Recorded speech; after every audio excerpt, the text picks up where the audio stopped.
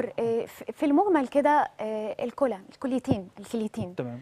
آه، إزاي نحافظ على سلامتهم؟ لأن هما من أهم يعني الحاجات الموجودة في أجهزة جسمنا.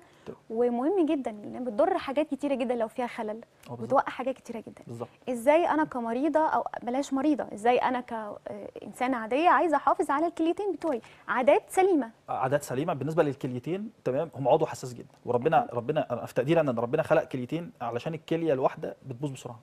يعني مم. الكليه من الأعضاء اللي بتبوظ بسرعة جدا تمام بس مطلوب من أي مريض قاعدة ثابتة المية تبقى كتير جدا الملح يبقى قليل ده أساسي ده أي إنسان مش أي مريض مم. وأهم حاجة في كمية المية الكتير دهيا تكون آه، بانتظام يعني مش أنا أروح أشرب إزازة المية كلها وأقعد 24 ساعة ما أشربش مية لا هو ده كده ما شربتش كتير. يعني كل نص ساعة تقريبا كل يا ساعة دكتور؟ تقريبا كل نص ساعة ياخد كوباية آه. مية. دي رقم واحد. رقم. اثنين كمية الملح اللي داخلة الجسم نراعي ربنا في الملح لأن الناس بتاكل آه. ملح كتير قوي ومن الغايب عن الناس هو حكاية إن آه، الملح مش موجود بس في الحاجات طعمها حادق. يعني. مثلا الملح ده إحنا يهمنا فيه أو يهم الكلية فيه الصوديوم. الصوديوم ده هو الواجب بتاع الكلية. يعني الكلية بتصحى من النوم الصبح. أنا عايزه أطرد الصوديوم الزيادة.